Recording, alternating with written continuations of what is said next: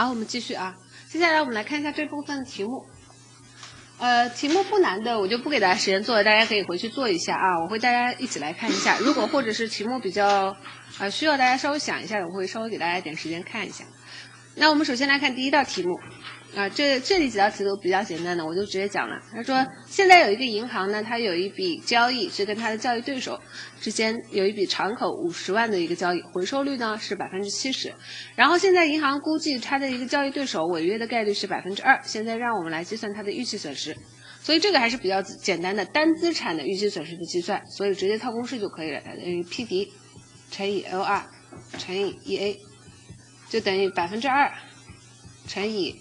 回收率转换一下，一减去百分之七十，然后呢乘以敞口五十万，就可以算出预期损失应该是等于三千，所以这道题应该选的是 A，啊，这个比较简单的啊，可以课后再去看一下。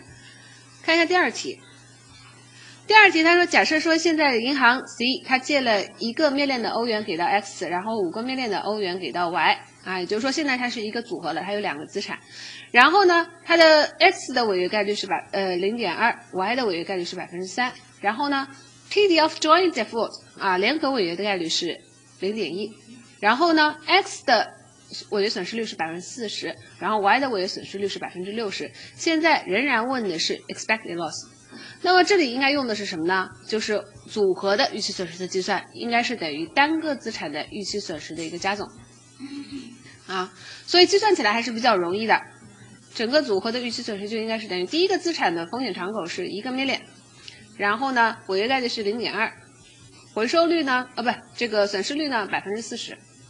第二个资产呢，它的一个实际的 exposure 是五个 million，然后呢，违约概率是零点三，然后回收率，呃不是，损失率是百分之六十，然后算出来呢，它的预期损失应该是等于零点九八。那但是呢，在这道题当中，可能会有一些同学会问一个问题：老师，这个 joint default probability 到底有什么用，对不对？啊，这里大家要说稍微注意一下，其实这个内容在我们刚才讲例子的时候，其实隐含在里面是有的，可以看一下之前的例子啊。在之前我们讲的这个三个资产的例子当中，其实哪一个指的是 joint probability of default？是不是就是这一项，对不对？所以它只是其中的一个过程。啊，他得出的结论应该跟每个资产预期损失的加总应该是一样的啊。但是呢，如果你说真的，我想要用这个维度去算，可不可以算？可以算。这个时候呢，如果你要用到这个维度，你就必须要把分布建出来。那你把分布建出来的方式当中，你才可以用到这个维度。怎么做呢？就比如说，我现在是两个资产，我有 X 资产和 Y 资产，那我把所有情况列出来，就是没有违约情况，X 违约的情况。Y 违约的情况，X、Y 同时违约的情况，对不对？你可以把损失列出来，对不对？然后呢，你可以把它发生的概率给计算出来。其中呢，啊，joint probability of default 是零点一，那么就是两个同时发生违约的概率是零点一，对不对？然后呢，告诉我们 X 的违约概率是零点二，但是这里要扣除什么？如果它只计算它单个违约的话，就要扣除两个同时违约的概率，所以就是零点二减去零点一。对不对？然后告诉我们 Y 的违约的一个情况是百分呃这个零点三。那么如果只是 Y 单个违约的话，那我们就要扣除掉两个同时违约情况，那么就应该是零点三减去零点一，对不对？然后剩下的啊这一项就用一减去剩下的所有的概率就可以了，因为它们加总起来是所有的情况，对不对？能跟上吗？啊，所以这里没有违约的概率可以算出来是等于零点六。然后你再把损失情况写出来就可以，这里应该是零，这里应该是一乘以零点四，然后呢，这里应该是五乘以零点六，然后呢，这里应该是一乘以零点四加上五乘以零点六，这个能看懂吗？啊，就是每一个的它的 exposure 乘以它的违约损失率，然后这个是两个加总起来，然后你要算预期损失怎么算？概率乘以损失全部都加总起来就可以了吧？对不对？所以零点六乘以零。零点一乘以一乘以一，呃，这个零点四，然后零点二乘以五乘以零点六，然后再加上零点一乘以这一项，是不是？啊？最终算出来的结论是完全一样的，也是等于零点九八，啊，所以啊，如果说碰到这种情况啊，如果你是直接用组合的预期损失等于单个资产加总的话，joint probability of default 是不需要用的，啊，只有什么时候要用，就是你建模分布的时候才会用到这个维度，啊，所以这个大家要看懂啊，不要踩到陷阱里去。好看一下第三题，也是比较简单的。啊，他说现在有一个呃这个投资者他有一个组合是一百万的，然后这个组合当中呢有一个 A 评级的债券是八呃四十个面链有一有一个三 B 级评级的债券是六十个面链。假如说 A 一年的违约概率是百分之三，B 三 B 的这一个一年的违约概率是百分之五，然后他们之间是互相独立的。然后呢，A 资产它的一个回收的价值是百分之七十，所以这个是回收率啊，损失率就是百分之三十。然后呢，三 B 的这个资产它的回收率是百分之四十五，所以它的损失率是百分之五十五。然后算它的预期损失。那这个也是比较简单的吧？啊，就直接把式子列给大家，大家可以回去自己看一下。组合的预期损失就等于单个资产的预期损失的加总，就应该是等于四十个 million 乘以百分之三。然后呢，乘以百分之三十，然后呢，再加上六十个 million 乘以百分之五，再乘以百分之五十五，算出来呢，应该是等于二点零一个 million，所以这道题应该选的是 C 啊。这里没有列到关于 credit va 的计算的题目，对不对？但其实不需要列，为什么？因为 credit VaR 的计算在刚才我们讲的两个例子当中已经讲的非常的清楚了，rho 等于一的情况和 rho 等于零的情况。所以大家在复习的时候，如果要复习 credit VaR 的计算的话，你就把刚才我们课上讲的两个例子好好的回顾一下就可以了。那基本上出现的题目不会超出这样子的一个计算的。好，这是第一部分 introduction of credit risk。那接下来呢，我们要进入第二部分 credit risk measurement 啊。如果数学不是特别好的人，在学习这一部分的时候，可能会啊有一些消化不良的情况，因为在这一部分呢，我们要讲很多的模型啊，所以如果有一些背景知识你不了解的话，你可以下课来问我。那这一部分我们刚才讲过，我们主要要讲的是三个不同的内容的测量。前两个是信用风险当中的关键维度，一个是 PD，一个是 exposure。最后一个维度呢是综合风险的一个分析，就是交易对手风险的度量啊。我们在这里 measurement 主要讲这三个板块。那么侧重点各不一样，其中量化分析要求最高的是第一个 probability of default 这一部分，我们的模型非常的多啊。我也数不清楚，非常的多，因为每年都在加啊。但是这一部分当中常考的模型呢，其实还是有限的。待会我会告诉大家哪些是比较常考的模型，所以你在复习的时候，重点的复习一下常考的模型啊，其他的一些比较偏的模型呢，稍作了解就可以了。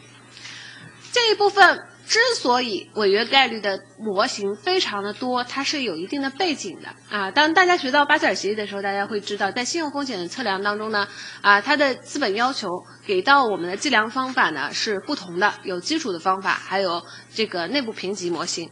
那其中呢，内部评级模型呢是比较高级的方法，但是它又分成两种，一种是基础的内评法，还有一种是高级内评法。它的区别在于，基础内评法它只允许金融机构估算 PD。而高级内部评级法是允许金融机构估算 PD、exposure 和 loss rate 的，所以为什么 PD 的模型最多？是因为金融机构在适用监管层要求的时候，它是先适用的是只允许它估算 PD，所以它在估算 PD 的时候，它就会有非常多的研究，我怎么用自己的模型去估算，所以就会有非常多的方法啊，所以这是它有有它这个背景的这样子的一个情况。那我们来看一下这一部分，我们主要讲哪些呢？简单给大家解释一下。首先第一部分我们要讲一下。目前市场上常见的评呃这个违约概率估算模型的分类，啊有些什么样的分类？但这个分类只是一家之说，也就是说只是一个作者他是这么分的，所以不能说所有的模型都可以分进去啊。这只是其中的一些模型它做了一个分类，这个大家稍微了解一下就可以了。这是一个分类，那这个分类对我们的作用是什么呢？就是大致能够帮你了记一下后面大概我们要讲一些什么样的模型啊。这是第一部分我们要讲的。第二部分呢，我们就要开始重点讲模型了。那这当中我们会讲几类不同的模型。首先第一类呢，我们会讲一下评级系统当中，我们知道外部评级系统会有很多的评级，对不对？我们在一级也讲过，评级系统除了给你评级以外呢，它还会给你违约概率，对不对？那我们就会简单的讲一下评级系统它的特点、它的评级特点、它的违约概率的特点，以及它的违约概率是怎么出来的。那我们说评级系统的违约概率其实是通过历史数据估算出来的，也就是说拿过去很大量的数据来估算出来的。那这当中呢，我们会借助评级系统来给大家解释一下，根据历史数据如何来估算评违约概率，而且呢还会解释一下有哪些常见的违约概率的度量的维度。这是 rating system，是属于考试当中一个比较常考的一个模型。第二个模型我们要讲的是根据市场价格来估算的违约概率。根据市场价格来估算的违约概率呢，这一部分其实我们分成两大类型，一个是根据债券价格来估算违约概率，还有一个呢是根据股票价格来估算违约概率。那么这当中呢也会有一些核心的模型，这也是考试当中一个比较常考的模型啊。当然这当中还有子类，它还有很呃小类的不同的模型，要稍微注意一下。第三部分呢是一个比较纯偏统计型的违约估计模型，叫做指数分布 （exponential distribution），这个叫指数分布。而这个内容呢，相对来说，呃，可能会一开始会大家不太理解，因为其实指数分布我们在一级定量分析当中是没有讲的。但是呢，我们在一级定量分析当中讲了一个跟它非常相关的模型，所以我们会从这个呃非常非常相关的分布，我们会从这个分布给大家引入。这个分布呢，就是泊松分布。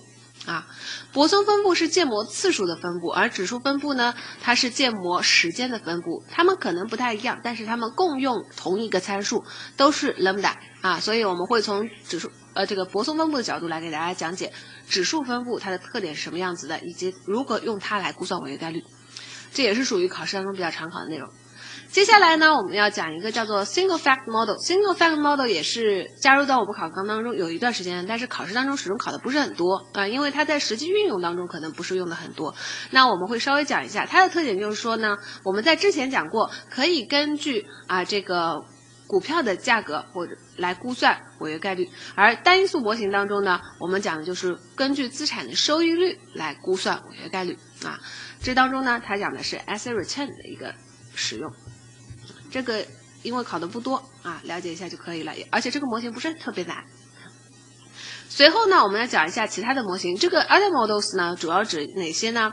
啊，有一些是二零一八年引入进来的，也就是说之前考纲里是没有的。这些模型呢，非常的新啊，有很多是现在社会上还在讨论的。就比如说像人工智能的一些模型，这些模型呢，啊，你看到不要太紧张，因为它涉及到的是计算机科学，我们考试当中涉及的不多。基本上，other models 当中的这些比较先进的模型，目前还没有考过。就是说，考试当中没有涉及过这些先进的模型的一个考察。如果要考察的话，一般也是偏定性的，因为这一部分的模型它都没有做大幅的展开，只是做了一个介绍。所以呢，啊，也是理解为主就可以了。除此之外，在这个 other models 当中呢，我们还会讲一些专门针对于啊中小企业或者是个人消费类信贷的纯债务型组合的信用风险评估的一些模型啊，我们也会稍微给大家做一些介绍。所以 other models 不是一个重点，了解一下就可以了。最后呢，concentration risk 这个我们之前讲过，它指的就是啊通过啊 PDLR 和 EA 以及啊，这个 expected loss、unexpected loss 没有办法估算出来的一种风险，就是多个资产同时违约的情况。那在这里呢，我们会讲一下它的量化是怎么来进行量化的，如何计算一个资产组合当中多个资产同时违约的一个发生情况。那这是 probability of default 这一部分我们要讲的内容。那我们逐一来看一下。首先看一个啊比较轻松的话题，就是它的一个划分。那我们可以把市场上呃形形色色的估算违约概率的模型呢，主要分成三大类型：expert based 啊，基于专家的啊；statistical based 统计类的；heuristic and numerical approach 这个是指的是启发式跟数值的一个运算。分别给大家解释一下：expert based 通常指的是评级系统当中的一些违约概率计算的一个方法。啊，这个 expert 就指的是评级系统当中一些专业专家他们给出的一些建议，所以 expert base 它指的是这样子的一种违约概率估算的一个分类。statistical based 呢，主要指的是用一些统计的手段来估算违约概率。这当中呢，它还可以进一步细分，分成两种，一种呢叫 structured approach，另外一种呢叫 reduced firm approach，也就是说它可以分成这两类。那这两类的区别是什么呢？Structured approach，这个 structure 大家知道它是一种有结构的这样一个性质。那么它的特点就是什么呢？就是在这种模型当中，我用的是统计的方法，但是呢，我会有一些经济金融背景的假设。就比如说我们在后面讲到的一个通过股票价格来估算违约概率的方法，叫非常有名，在我们考试当中也经常会出现，叫做莫顿模型。那莫顿模型当中呢，它就是基于企业的资产负债表的结构。啊，来分析它的资本结构，啊，就是 capital structure，分析它的资金来源、它的债务、它的一个股的股权，然后来分析它的一个违约情况的。这种情况就是属于有经济金融背景的一种统计的一个运算，所以它是啊叫做 structured approach。那么另外一类 reduced firm approach 就是纯统计的。它使用的就是说，从统计上来讲，解释力度最高的一些维度来进行违约概率的估算，就是纯统计的。这当中呢，啊，比较常见的，我们在后面会讲一个叫做 LDA 方法，这个叫做 Linear Discriminant Approach，啊，这个叫做线性判别法。线性判别法的特点是什么呢？啊，它就是一个啊线性的函数。这个线性函数呢，能够给到我们一个评分，然后帮助我们来判断它的信用风险。那么这当中呢，它的形式可能就是说，哎，我的一个 score，一个评分等于什么？a 一 x 一加上 a 二 x 二，然后加上点点点点，这就是一个纯统计的一个函数，而且是一个线性函数，然后可以通过不同的维度来解释这个评分，然后根据评分来进行判断。那这当中呢，它是没有任何的理论背景在里面的，只是在统计角度，我去找一些对它解释力度最高的一个维度。那这是 statistic，呃，statistical base 的这一部分，我们可以拆分成这两大类型啊。当然这。这个这莫德模型和 LDA 只是举例，还会有一些其他的模型，我们在之后会给大家介绍。然后第三种。Heuristic 跟 Numerical 是属于我们这一部分最玄乎的两个模型，因为这两个模型是有点跨界了，因为它涉及到的是计算机科学，还有一些是纯统计的一个高性能的数值运算的这一部分，啊，所以它并没有做太大的展开。这两部分其实最主要的运用就是在人工智能当中的一个运用，啊，它们的特点是什么呢？Heuristic 指的是启发式方法。Numerical 指的是数值算法，它们的特点是什么呢？简单的给大家介绍一下啊，其实我们后面也没有做做过多的展开，都是介绍。它的特点就是啊，heuristic 这种启发式，它指的是什么呢？就是说根据一些专家的经验和结论，然后建立一些计算机的模型，然后呢，这些计算机模型就是根据经验结论，然后推啊这个进行判断的。就比如说啊，举个简单例子，我们现在可以可以看到很多的这种呃人工智能机器人，对不对？然后很多人工智能的机器人，它可以跟你形成简单的一个对话，对不对？那它的这些反应应变能力都是基于什么来的？就是过去的一些经验结论，就是碰到这样的情况，它是怎么来进行处理的，对不对？输入大量的这些经验结论，它就是根据这些经验结论来进行啊这个运作的，这就属于启发式方法。所以启发式方法的特点就是说呢，我是有经济结论背景的，所以我不是把所有的情况全部都分析一遍，我只把我认为最有可能出现的情况全部都分析一遍，这是启发式方法。那数字算法指的是什么呢？它这当中它会有非常大量的一个统计的运算啊，有很多不同的模型。它的特点就是说呢，它会把所有的情况全部都算一遍，然后找出最优解。啊，所以这当中它会涉及到非常大量的一个数值运算，通过计算机编程，然后达到一个计算机大量运算之后得出的一个结论。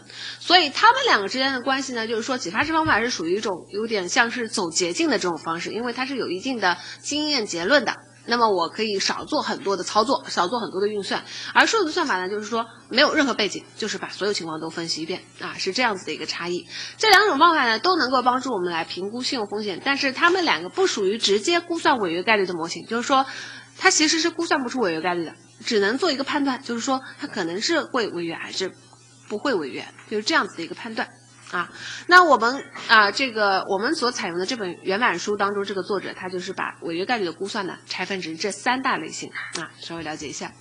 那接下来呢，我们就重点看一下一些比较核心的模型。首先看一下 rating system 评评级模型。评级模型的话呢，它指的就是我们在信用风险分析的时候，可以借助于评级机构的评级模型来进行分析。那评级机构的评级模型呢，啊，它给我们带来的一些。啊，分析的好处是什么呢？它对于我们的风险管理能够提定提供一定的帮助。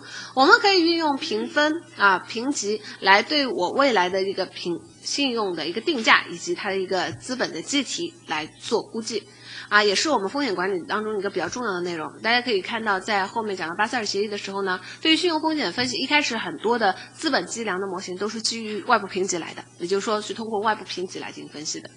除此之外呢，评级呢，它是一个定序的一个分析的一个模型，它会告诉我们不同的啊信用质量，它的评级大概是一个什么样的情况，啊，那么它对我们的风险管理呢是非常重要的。那这个时候呢，我们说除了外部评级以外呢，一些金融机构它也会建立自己的内部评级模型。那这个时候呢，我们要注意我们在使用的时候，我们必须要保证它是一个比较好的评级模型，这样子的话呢，它才会对我的风险管理起到核心的作用。那我们说，如果要是一个比较好的评级模型，那么它必须要满足一些什么样的基本条件呢？我们这些这里有几个比较重要的基本要求啊。一个好的评级系统呢，我们要求有五个基本的啊这个原则。首先，第一个 measurable，就是说它是可测量的。可测量指的是什么呢？就是说这个评级模型当中，它是可以告诉我违约概率的一个估计的，啊，这个叫 measurable，啊，第二个呢，verifiable 指的是可验证的，可验证指的是我是可以通过市场数据去验证它的结论到底是准确还是不准确的。第三个 objective，objective 指的是一个，它是一个啊比较客观的一个数据。那这个客观指的是什么呢？它只反映市场上关于信用风险的一个部分，啊，只考虑市场上关于 credit risk 的一些因素，啊，是 objective。第四个呢，homogeneity 指的是同质性的，同质性的指的是什么呢？就是说在不同的产品或者是不同的发行主体之间。我给到这样一个评级，互相之间是可比的。就比如说，哎，我有 A、B、C 三个发行主体，我给他们的评级分别是啊两 A 级的、两 B 级的。那么这个评级，他们互相之间的评级分析的方式是完全一样，他们是互相可比的。这个叫做同质性。最后一个特异性，特异性指的是什么呢？特异性指的是在评级系统当中，它关注的信用风险通常只关心违约的部分。也就是说，他在分析信用风险的时候，主要关注的是违约，啊，那我们说一个好的评级系统的话呢，我们说至少要满足这五个要求，才是一个比较好的一个评级模型，我们才可以用到它的数据来做进一步的信用风险分析。那市场上我们经常会用到的呢，主要是三大机构给到的评级：标普、穆迪和惠誉。啊，其中标普的评级用的是全大写的形式，而穆迪的评级呢用的是大写加小写的形式。然后呢，这当中呢我们要注意一点，就是我们在使用的时候要注意，他们的评级其实并不是完全一致的，他们之间并不是可以直接可比的。为什么说他们之间并不是可以直接可比的呢？是因为他们在评级的对象上呢存在一定的差异。一般来说呢，目的的话通常是 issues。rating 什么叫 issues rating？就是偏产品的，它提供的大多数是这个主体发行的某个产品的评级，所以一个主体可能会发发行不同的产品，它不同的产品的评级可能是不太一样的，这是 issues rating。而标普呢，通常主要提供的是 issuer rating，也就是说。发行主体的评级，也就比如说我有一家 A 公司，它发行了很多不同的产品，那么我不是对它发行的不同产品做的评级，我是对这个 A 公司做的评级。那么这当中会有一个什么问题呢？就是说 A 公司可能会有不同的产品，有些它可能比较容易违约，有些它可能不太容易违约，这个在 issuer rating 当中是体现不出来的，这是它的一个缺陷。然后惠誉呢，采用的是两者之间。也就是说，啊，它有一部分是偏 issues 的，有一部分是偏 issuer 的。它是怎么来体现的呢？就是它提供的是 issue rating，也就是说它提供的是一个发行主体的评级，但是这个评级它是受一定限制的，受什么限制呢？就是会关注它在市场上对外公开发行的一些产品的履约能力。也就是说，它是跟产品结合在一起的，并不是说完全不考虑产品。也就是说，我比如说 A 公司发行呃很多 A、B、C 三个债券，那这当中呢，我对它发呃进行评级的同时，我会考虑它在 A、B、C 这三个债券当中是不是会违约。因此，我们在用到不同的这个外部机构给到的评级的时候，我们也要注意，它们是存在一定的差异的。那。那实际给到我们的评级，我们在实际运用的时候呢，其实更多的不是直接用的是评级，我们更多的是用的是什么呢？是它给到我们对应评级的一个违约概率。啊，一般来说，评级机构除了给到评级以外呢，它还会给到一个违约概率。所以呢，我们实际使用的时候，大多数采用的实际数据是违约概率。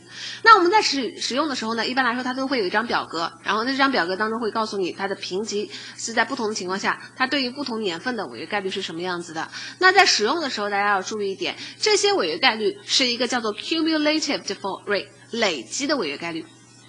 这个我们在后面会讲，累积的违约概率它的特点是什么呢？就是从期初一直累积到这一个期限结束。也就是说，如果是一年的话，就是从零时刻到一年这一段时间它的违约概率；如果是两年的话，就是从零时刻到两年这一段时间的违约概率啊。所以呢，它是一个累积的违约概率。因此，我们在实际使用的时候，这个数据其实还不是直接用的，因为我们很多的产品我们需要关注每一年的情况，而累积的违约概率不能直接反映每一年的情况，所以我们还要做转化的。所以所以我们后面会讲累积的违约概率它是怎么算的，以及它如何转化成不同的违约概率来帮助我们进行进一步的分析。那么评级机构除了会给到累积的违约概率以外呢，还会给到这个 transition metrics，也就是转移矩阵。那转移矩阵也是可以帮助我们对未来的评级的一个变动去进行一个预期的，因为它可以告诉我们当前的。评级是什么样子的？然后过了一段时间之后，它会发生什么样的变化？就比如说下面这一张是一个一年期的转移矩阵，它可以告诉我们，initial rating 是在这一系列不同的情况下，它在 financial 最终会变成什么样的情况？啊，最后一个 WR 叫 withdraw，指的就是撤销评级啊，因为一些非信用的因素而撤销评级的概率。啊，那么这是转移矩阵，它可以帮助我们干嘛呢？就是对未来的违约概率去进行估算啊。一般来说呢，它可以帮助我们估算的是累积违约概率。比如说，举个简单的例子，假如说我现在有一个 A 评级的产品，那我要考虑两年内它违约的概率，那这个时候呢，转移矩阵就可以帮助我来进行估算。怎么估算呢？我就把两年内它所有的情况都列出来就可以了。它可能是在 A 评级第一年上升到三 A，然后第二年发生评。违约对不对？也可能是第一年上升到两 A，然后第二年发生违约，然后呢，以此类推，可以把所有的路径给写出来。也可能是第一年就发生违约，对不对？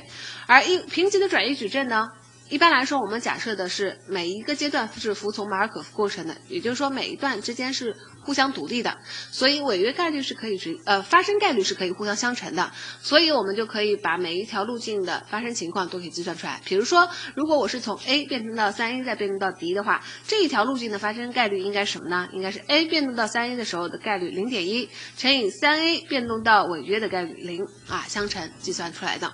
因此，转移矩阵也可以帮助我们来估算未来一段时间内的它的一个违约一个违约的一个情况。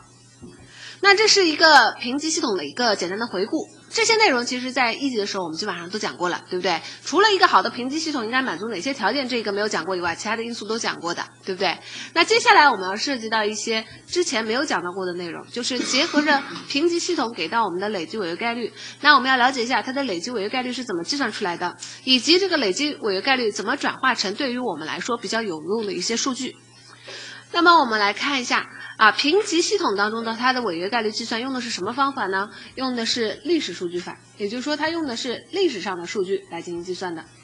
那么它的历史数据通常指的是什么呢？举个简单例子，比如说，假如说我现在有一家公司，呃，有市场上有一千家公司，这一千家公司当中呢，我们根据历史数据来进行分析的话，我们得到了一组数据，就是一千家公司在这一段时间内呢，第一年。它发生了一部分的违约，第二年它发生了一部分的违约，比如说第一年发生了三个违约，那么这样子的话呢，它就剩下了九百九十七个，对不对？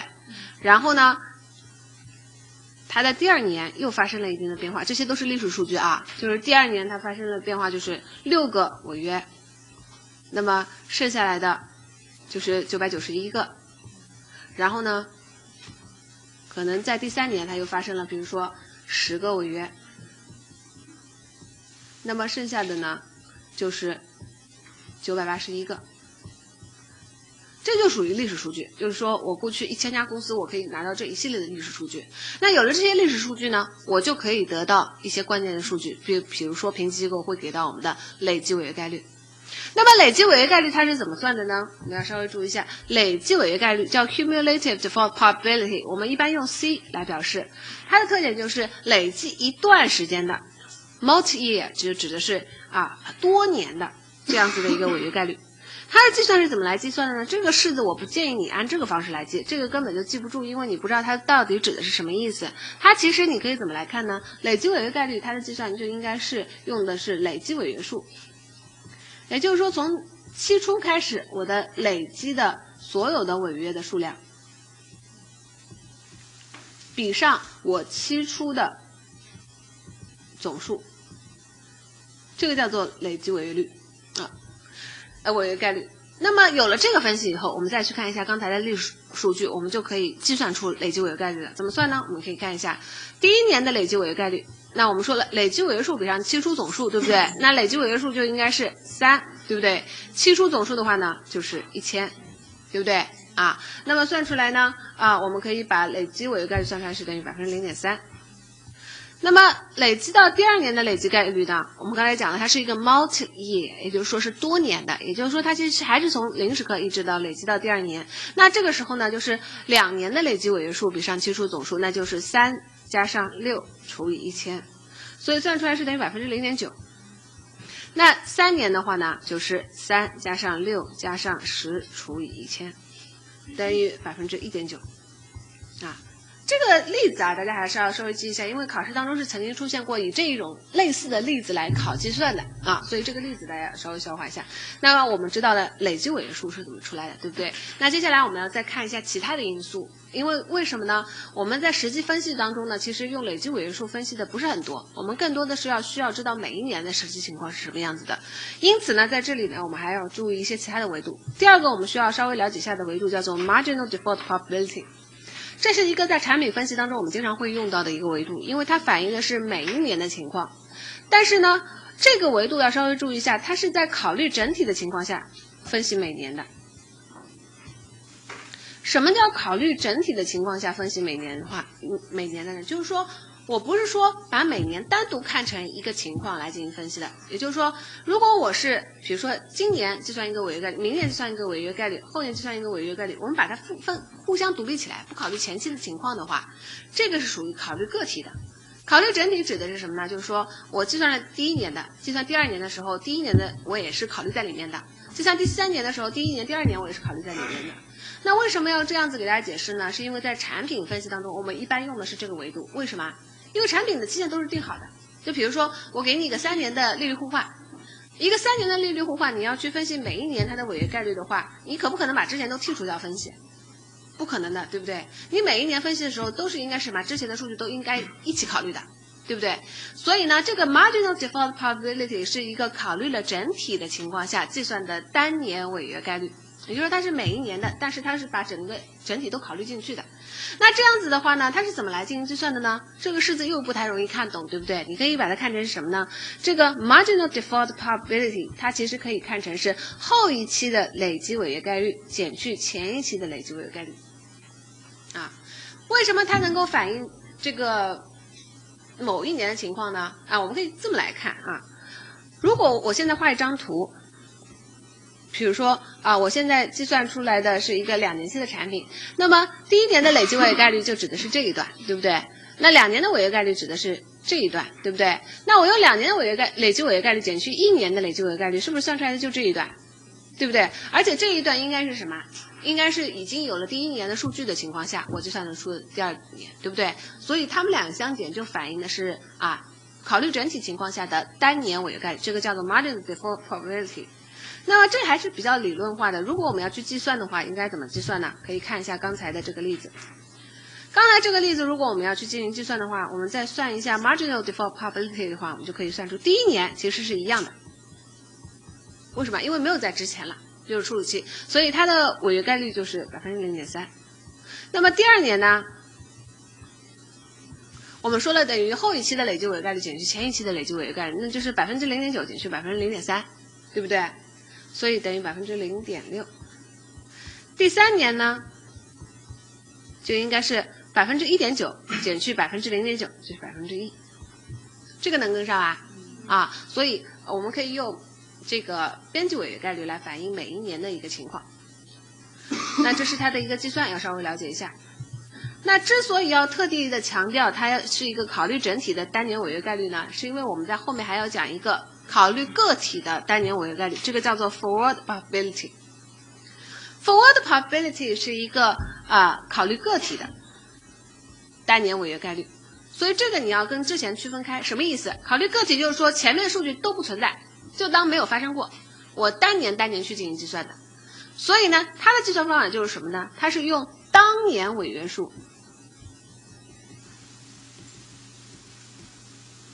比上当年期初存货数，或者说当年期初的总数来进行计算的，所以它不考虑前期任何的情况，每一期都是单独算的。因此，forward probability 算出来跟 marginal default probability 其实是不一样的啊，大家可以来看一下。如果我计算 forward probability 的话，应该怎么算呢？我们写到第二页上去啊，这个数据大家应该都看到了，我就那个了。我就不再重复了。那如果我要现在要算啊这个 forward probability 的话，一般来说呢，forward probability 我们用 d 来反映。那么这样子的话呢，我们可以写一下 d 一等于什么呢？应该是等于第一年的累计数比上第一年期初的总数一千啊。然后呢，d 二呢应该等于什么呢？等于第二年的累计数除以第二年期初的总数九百九十七。然后 d 三呢？应该是等于啊，这个第三年的违约数比上第三年期初的总数九百九十一，啊，所以它的计算跟刚才我们讲的啊这个 marginal default probability 是不一样的，它算出来应该是等于这个是等于百分之零点三，这个是等于百分之零点六零二，这个是等于百分之零呃一点零一，啊，这是 forward default probability，这个维度其实很有用的，什么用处呢？这个维度可以。去帮我们推刚才我们讲到的累计违约概率和边际违约概率的这个，我们待会儿所有的维度讲完之后，我再帮大家来看一下大家他们之间的一个关系。所以这边大家先了解一下，它它是一个这么样子的一个概念。然后呢，还有一个我们经常会用到的概念叫做存活率 （survival rate）。存活率呃一般来说是一个累积情况，就是说我们通常只考虑累积情况，就是说累积到现在的存活率。通常我们会单独去考虑每一年的存活率的，没有什么太大的分析意义。啊，所以呢，一般存活率大多数情况下都是啊累积情况。那么存活率可以怎么算呢？可以这么来算，某一年的存活率可以用一减去啊这个 forward probability 来进行计算。如果是多年的累计存活率的话呢，就是把每一年的啊这个单个的存活率相乘就可以了。什么意思呢？就比如说我现在第一是反映第一年的违约情况，对不对？第二是反映第二年的违约情况，第三是反映第三年的违约情况。那我可以算出什么？啊，第一年的存活率应该是一减去零点百分之零点三，对不对？第二年的这一年当中，它的一个存活率呢，应该是一减去，哎，零点六零二。然后第三年的。这一段时间呢，它的存活率是一减去百分之一点零一，但这个维度呢没有意义，因为一般来说我们不会把存活率单个来进行考虑，我们一般来看就是话累积到一年末的存活情况，累积到两年末的存活情况，累积到三年末的存活情况。那么它应该怎么算呢？累积到一年的存活情况就跟这里计算是完全一样的，因为只有一一年数据，就是一减去零点三。累积到两年的存活率呢？它应该代表的是什么？就是第一年存活下来的情况下，第二年才可能存活下来，对不对？它们应该是共同发生的，对不对？所以应该什么呢？一减去零点三，再乘一减去零点六零二，然后呢，累积到三年的存活率呢，就是一减去零点三，一减去零点六零二，然后呢，再乘一减去。啊，所以一般来说，存活率我们用的是下面这三个的计算方法，它是一个累积数。除此之外，存活率还可以怎么算？啊，因为它是一个累积数，所以它跟刚才我们讲的哪个违呃哪个数据是应该是一一对应的，跟累积违约概率应该是一一对应的吧？对不对？所以它也可以写成什么？一减去 C 一，一减去 C 二，一减去 C 三，这个能看懂吗？因为 C 一、C 二、C 三代表的是累积违约概率嘛，对不对？它对应的就是什么？啊，累积存活率嘛，对不对？它们两个应该是互相对应的，所以也可以这么来进行计算。那么这是在根据历史数据分析的时候呢，我们可以得到这一些维度，对不对？那么比较重要的是哪些呢？一般来说，比较重要的呢是累积违约概率啊这个累计存活率和这个边际违约概率。因为呢，啊，这个累计违约概率跟累计存活率，我们可以用来计算单年的平均违约概率。这个我们待会儿会讲啊，平均的我们可以通过这两个维度来讲，所以它们两个比较重要。而边际违约概率的重要原因是在我们后面的不同产品的信用风险分析的时候，分析每一段它的违约情况的时候，我们会用到边际违约概率。所以呢，这三个维度是比较重要的。而 forward probability 只是我们计算的一个桥梁。所以它可以看成是一个计算的工具，但不是我们主要用到的一个维度。那么我们刚才说这个敌一、敌二、敌三是可以推其他的一些维度是怎么推的呢？再来给大家讲解一下啊。假如说我其他的呃累计违约概率和这个边际违约概率不知道，那我是不是可以直接通过敌一、敌二、敌三可以推出来呢？其实是可以的。我给大家讲一下，如果我现在知道了敌一、敌二和敌三，就是代表的是啊这一段、这一段、这一段时间的。每一段各自的情况，对不对？那这个时候，如果我要计算累积违约概率，可以怎么算呢？C 应该就等于一减去 D 一，因为这是第一年，没有什么悬念的，对不对？那 C 二应该等于什么呢？啊，C 二这个是，哎，不是写错了，不是一减 D 一，等于 D 一，因为都是反映的是违约嘛，对不对？能跟上啊？啊，C 应该就是等于 D 一，对不对？那 C 二等于什么呢？C 二应该是在每一段都考虑单独考虑的情况下的话，那应该是反映出来的情况是第一年违约加上第一年不违约，第二年违约这两种情况吧？是不是？这个能理解吧？这个就跟我们在什么时候的计算是一样的，在评呃这评级转移矩阵当中每一条去算的时候是一样的，因为我每一条算的不就是第一年违约、第二年违约或者第一年不违约、第二年违约的情况嘛？对不对？它是不是最终就把它们全部都加总起来了？是不是？所以 C 二应该怎么来算？就是第一年违约的情况加上第一年不违约的情况乘以第二年违约的情况。啊，你可以回去看一下平行转移矩阵，它的计算方法是完全一样的，对不对？啊，它都是把所有的情况都列出来以后把它加总起来。所以呢，对应的 C 三其实也可以算出来等于什么呢？就是第一年违约情况加上第一年不违约，第二年违约的情况加上第一年不违约，第二年不违约。第三年违约的情况，能看懂吧？啊，所以如果我们是当年的啊 forward probability 算出来的话，我们是其实可以把累计违约概率给推算出来的。那累计违约概率有了，累计存活率都可以算了嘛？对不对？啊，当然你也可以通过刚才我们直接告诉。告诉大家这个存活率的计算方法来进行计算是一样的。那么啊，如果是通过刚才这种方法来计算的话，存活率就应该什么？S 一应该是等于一减去 D 一，然后呢，S 二呢应该是一减去 D 一乘以一减去 D 二，对不对啊？S 三应该是一减去 D 一乘以一减去 D 二乘以一减去 D 三，这个能看懂吧？好，这是通过第一、第二、第三，我们可以推出这两个维度，对不对？那接下来再看一下 marginal probability of default，啊，第一年的 marginal probability of default，啊，这个没有区别的，就应该是等于第一，对不对？第二年的话，我们之前讲过是 C 二减 C 一吧，对不对？看一下 C 二减 C 一在这里的计算当中，它变成了什么？第二年的 marginal probability of default 是不是就一减去 D 一乘以 D 二？说明什么？说明这是一个联合概率。这是一个什么样的联合概率？是第一年不违约，第二年违约同时发生的一个联合概率吧？对不对？所以这就是为什么我们刚才反复强调的 marginal probability of default 是一个考虑整体的单年违约率。能看懂了吧？啊，他考虑的是第二年的违约，但是呢，他同样考虑了第一年要这个不违约，是不是啊？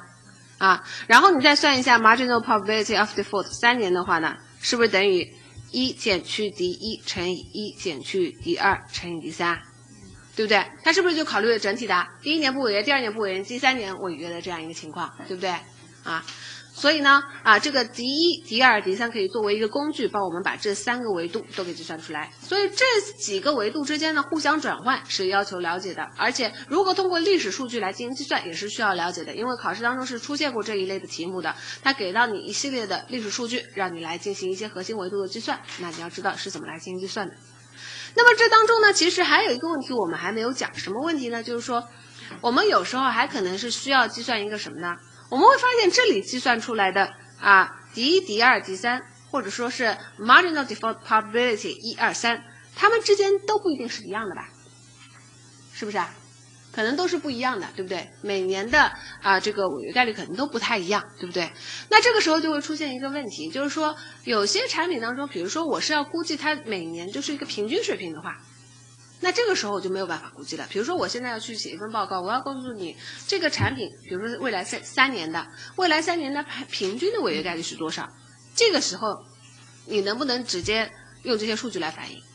没有办法，因为它们是不一样的，对不对？那这样子的情况下，我是不是还要预估一个平均水平，对不对？那这种情况下，告诉我们，我们其实还有一个这个，我们还有一个背景的要求，就是我们可能是需要去估算一个平均水平的。那估算平均水平怎么来进行估算呢？你可以看一下这里的这些维度，只有哪一项是可能可以估算出平均水平的？C 一、C 二、C 三、S 一、S 二、S 三肯定不可能一样的，因为它是一个累积数。是不是啊？啊，这不可能是一样的。然后呢，marginal default probability 一二三可不可能一样？也不可能吧，对不对？因为它是先考虑第一年情况，然后呢，第一年、第二年一起考虑，然后第一年、第二年、第三年一起考虑，也不可能是一样的吧？只有哪个维度可以化成平均水平，就是 forward probability of default，对不对？所以我们要转换成每年平均水平的话，只能够从 forward probability of default 上去考虑吧。对不对？所以接下来问题就转换成什么呢？就是说，假设说我现在是一个，比如说三年的产品，我这三年的实际的 forward probability 可能是不一样的，对不对？但是我要把它转化成一个什么呢？三年都是一样的，是不是？是不是这样子的一个逻辑？对不对？那这样子的话呢，我们假如说，我现现在要计算的是一个按年平均的，就是每年。计算这一个平均的一个数据的话，那这个时候我怎么去计算这个平均水平呢？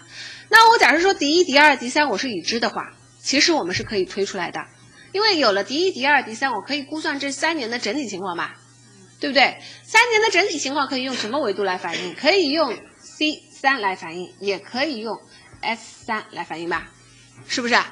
三年整体情况是不是可以这样反映？因为我要现在要计算一个三年平均，肯定是从三年整体情况来考虑嘛。对不对？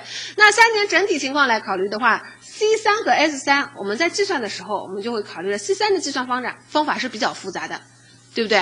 啊，你可以看一下刚才的这个式子，明显哪个计算可能会比较简单？S 三，对不对？那这样子的话，我们可以写一下 S 三。如果是在已知第一、第二、第三的话，它的计算就应该什么？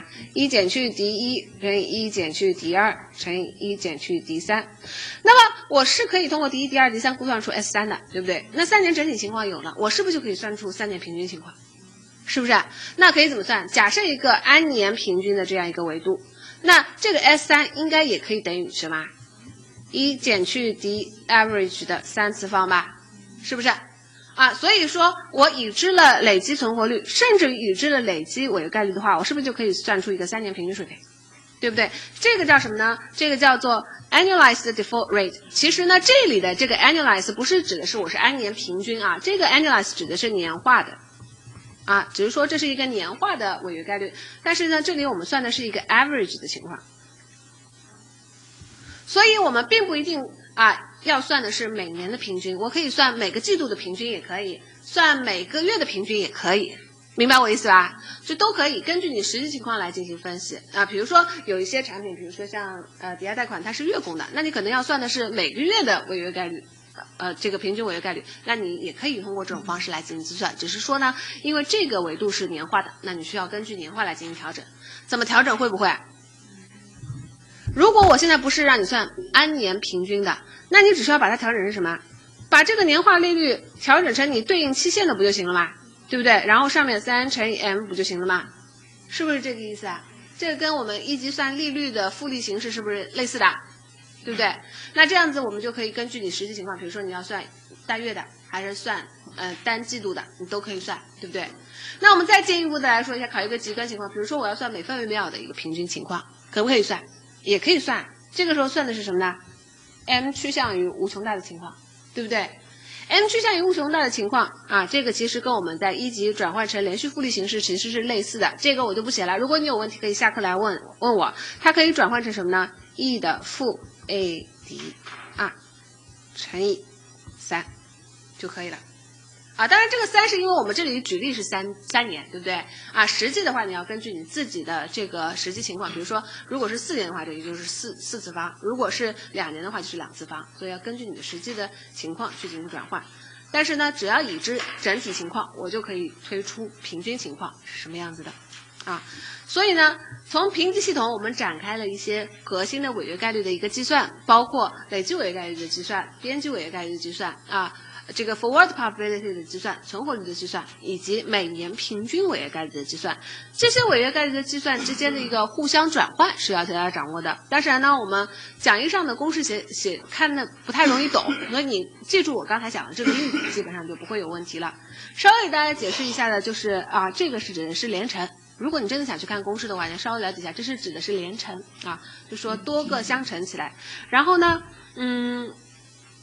我看一下，这里好像有一个地方是写错了，这里当中应该是有一个空格的，这是两个公式啊，这里是两个公式，前面一半是一个公式，后面一半是一个公式，前面一半是一个按年做平均的一个例子，然后后面一个呢是按每分每秒做平均的一个例子，所以大家如果真的是去看讲义的话，稍微注意一下这些特征就可以了啊。那我的建议是你把刚才我讲的这个例子记住就可以了，好。这是评级机构当中计算违约概率的一些方法。那我们结合一个数字的例子，再来总结一下啊。假如现在给到你这样一个数数据啊，给到我们的这个 naves 指的是每年期初的存活的数数据，然后给到的这个 default 呢是累积数啊，这是累积到这一年的累积的违约数是多少？那我们可以看一下，第一个它计算的是累积违约概率。累积违约概率我们之前讲了，就是累积违约数比上期初数，对不对？那第一年就是十比上一千。对不对？第二年呢，应该二十二比上一千，然后第三年呢，三十五比上一千，这个应该没有问题吧？然后第二个它计算的是边际违约数，边际违约数就是可以直接用后一年的累计违约数减去前一年的累计违约数，那我们就可以直接算一下啊，第一年应该是一样的，对不对？第二年应该是百分之二点二减去百分之一，就是百分之一点二，对不对？第三年应该百分之三点五减去百分之二点二，就百分之一点三。以此类推啊，你可以进一步的计算。接下来呢，它计算了一个 forward probability of default。那么只要用单年的数据就可以了，也就是说用这一年的违约数比上这一年期初的啊这个总数就可以了。那就应该第一年仍然是 十比上一千，第二年的话要注意这是累计数，所以第二年应该是十二比上期初数呢九百九十，对不对？然后第三年的话呢，应该是三十五减去二十二，应该是十三比上九百七十八，这个能看懂吧？啊，这是 forward probability of default。然后呢，累积存活数和存活数可以这么来进行计算。存单年存活数的话，就是一减去 forward probability of default 就可以了。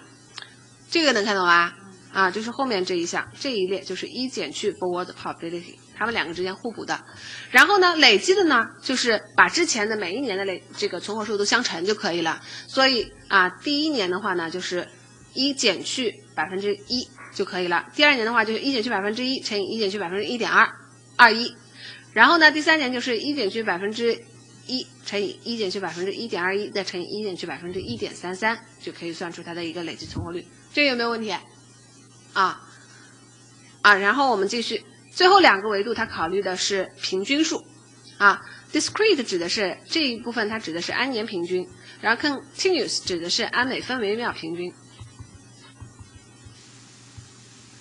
啊，那我们挑几个比较核心的数据来看一下就可以了。比如说第二年的，呃，两年的按年平均数可以怎么算呢？看一下两年的累计存活数，两年的累计存活数是百分之九十七点八，对不对？所以百分之九十七点八可以写成是什么呢？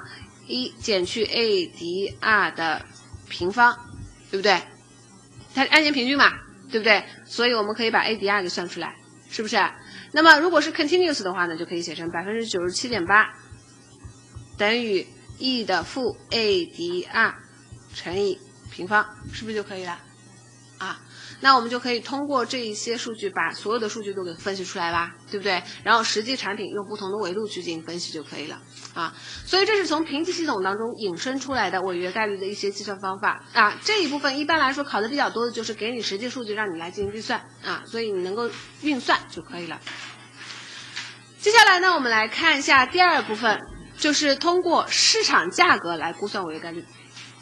通过市场价格来估算违约概率，我们刚才讲过，我们主要讲两种方法，一种是债券市场的价格，另外一种呢是股票市场价格。我们先来看债券市场的价格。啊，债券市场价格通过市场价格计算的违约概率，我们一般叫做 risk neutral probability of default。啊，那我们通过债券市场价格来计算违约概率，一般来说怎么来算呢？它是这样子的一个分析过程。一般来说，假设的是零息债券。啊，就是说，假设我这个债券在期中是不付息的，然后零息债券，我们现在一个最简单的例子为例，假如说我现在是一个一年期的，然后 zero coupon 的一个债券，然后我要去分析一下它它的一个信用风险，然后来判断一下它的违约概率是什么样子的。那我们怎么来进行判断呢？我们可以这么来考虑，首先呢，我们考虑一下，如果它发生信用风险的话呢，那到期的价值就会受到影响，对不对？所以我们假如说它到期就两种情况，一种是违约，一种是不违约。然后呢，我假如说它的面值是一块钱的话，那这个时候违约的时候，它到期的时候应该拿到的是多少呢？啊，应该是一乘以回收的部分。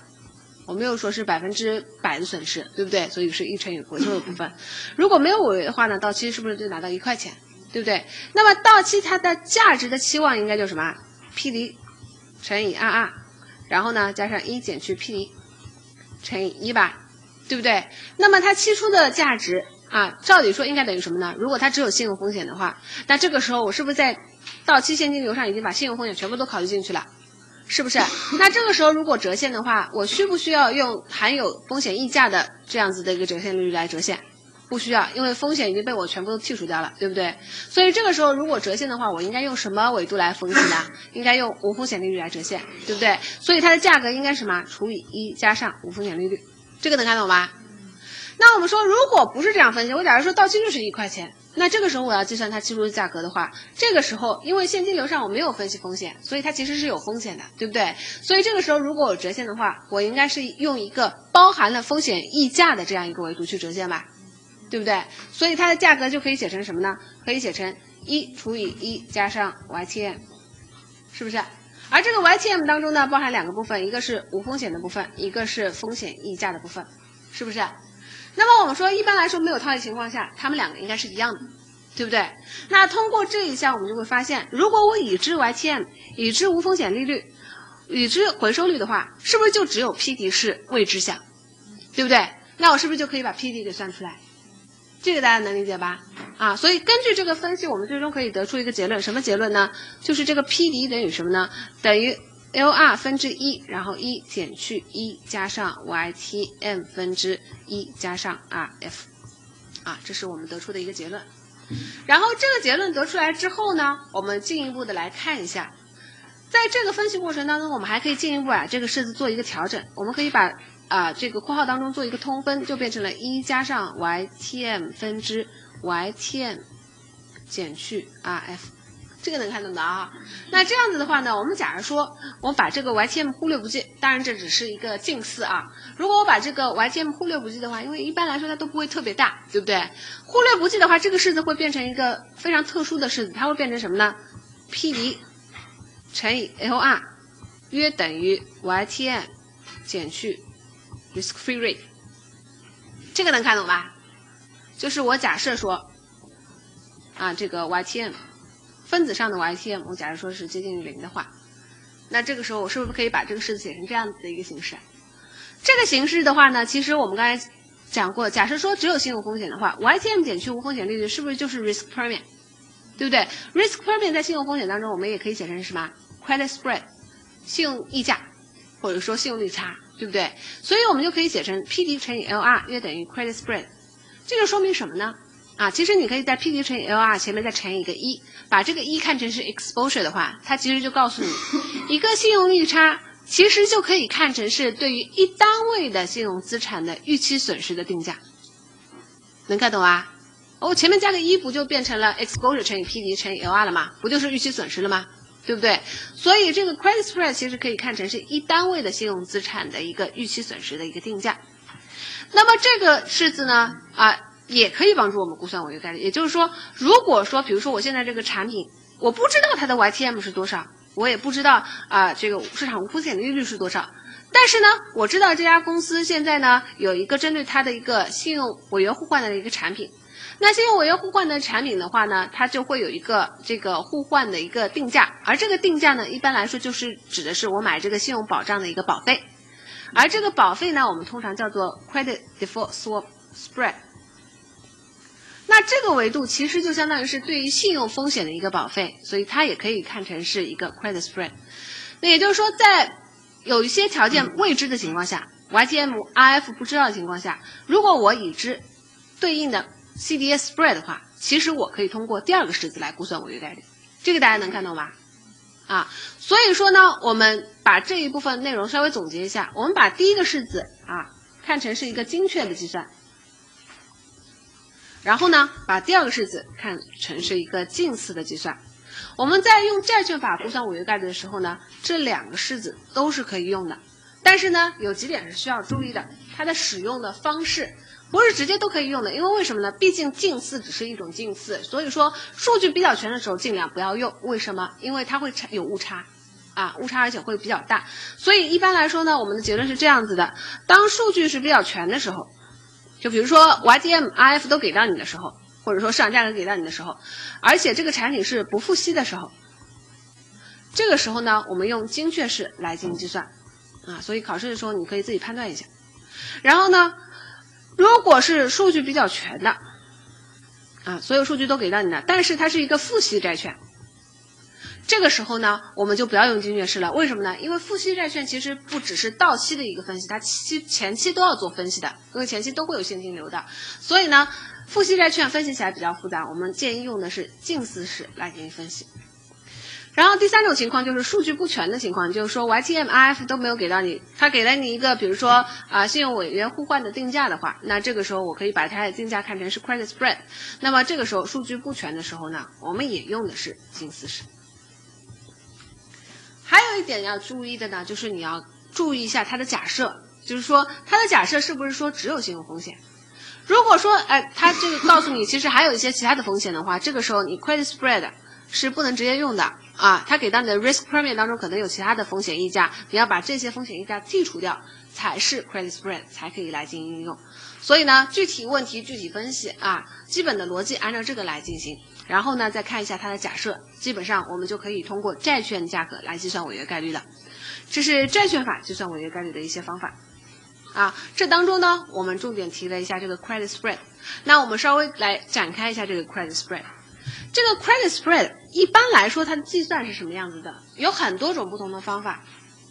如果是直接计算的话，最常见的一种计算方法呢，就是一用一个啊这个有风险的资产的它的一个收益减去一个无风险资产收益来进行计算，这是一种方法。当然这当中必须要假设它只有信用风险，对不对？但是这种计算方法呢有一个问题，它没有考虑到整个利率曲线的变化，因为它的无风险利率可能整个利率曲线它是。不一样的，对不对？那我这样只是计算了某一个期限的它的利率之间的一个差异，对不对？但是不同期限的利率可能是不一样的，所以呢，还有其他的方法来进进行计算。这个在哪里讲过？在一级讲 mortgage 的时候，其实我们讲过，我们讲过 OAS，还记得吗？对不对？讲 OAS 的时候，我们讲过 C spread，对不对？C spread 其实是另外一种计算信用风险溢价的一种方法，就是考虑整个利率曲线。那它是怎么做的呢？就是从定价的角度来看的，就是说我们对于一个产品的价格，它的 market price 应该是反映了无风险以及它的风险溢价的，对不对？它应该是等于什么呢？等于未来的所有现金流的贴现求和，对不对？那这当中如果是 market price，应该是有风险溢价的，不是风险中性定价，对不对？所以它的分子部分应该是一加上无风险利率，然后呢再加上 C spread，对不对？那么在已知 market price 的时候，我们是不是可以导推 C spread？对不对？啊，这个 C spread 也可以看成是一个 credit spread 一个计算啊。那除此之外呢，我如果不是直接算的话呢，还有一种方法就是可以直接观测一些特殊的产品作为一种替代。就比如说我们刚才讲的 CDS。CDS 其实我们一直是讲过的，就是因为不是重点，不知道大家还记不记得？它指的是一个什么呢？是一个信用风险的，类似于像一个保险一样的东西。一般来说呢，它有一个买方和卖方。买方是一个保险的购入方，然后卖方呢是保险的这个卖出方。买方支付的是这个 CDS spread，就是它的一个保费，对不对？卖方承诺的是对于它的这个 underlying assets，如果出现违约的话，他会给他做一定的赔付，对不对？所以 CDS spread 其实可以看成是对于信用风险的一个定价吧，对不对？所以如果说不能通过第一种方法计算。不能通过第二种方法计算，我们还可以直接观测市场上的 CDS spread，把它看成是一个对于信用风险的定价，也是可以的。所以呢，这个 credit spread 我们可以用不同的方式去进行分析。那么 credit spread 对于一个产品的价格的影响是我们非常关注的一个因素，因为它反映的是信用风险，对不对？所以呢，我们经常会通过一个维度来分析，这个维度就叫做 spread 零一或者叫做 DVCS。它的特点是什么呢？它就跟 DV 零一很像，只不过呢，DV 零一分析的是利率变动一个基点对于价格的影响是什么样子的，DVCS 分析的是 credit spread 变动一个基点对于价格的影响啊，所以呢，它分析的是信用利差发生一个基点的变化对于价格的影响是什么样子的。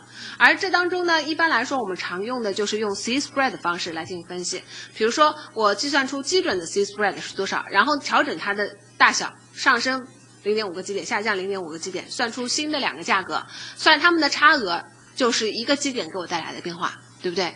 比如说下面这个例子，假如说现在的这个债券价格是九十二块钱，它的 C spread 是二零七，然后呢，我调升调降各调零点五个基点，那可以计算出新的两个价格，对不对？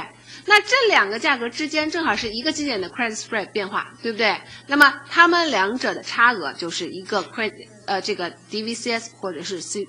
这个 spread 零一就是零点二一，啊，这是从债券法计算违约概率当中衍生出来的关于 credit spread 的一个介绍，稍微了解一下。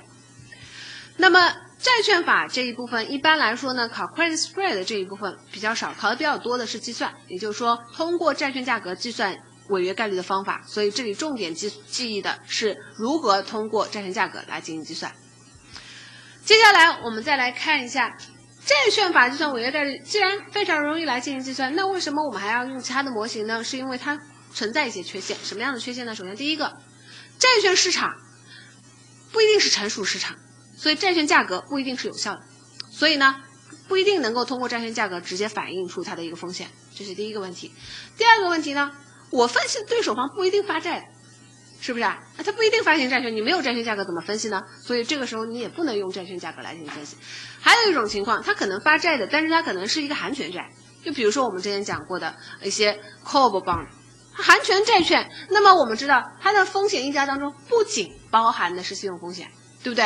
还有什么提前偿付的一些风险的溢价，对不对？所以也不能直接去进行分析，对不对？所以这个时候呢，我们就引申出了另外一种方法，就是我们可以考虑用股票价格的方法来估算违约概率啊，这就是它的一个背景。为什么债券法不是常这么常用？原因就在于存在一定的缺陷。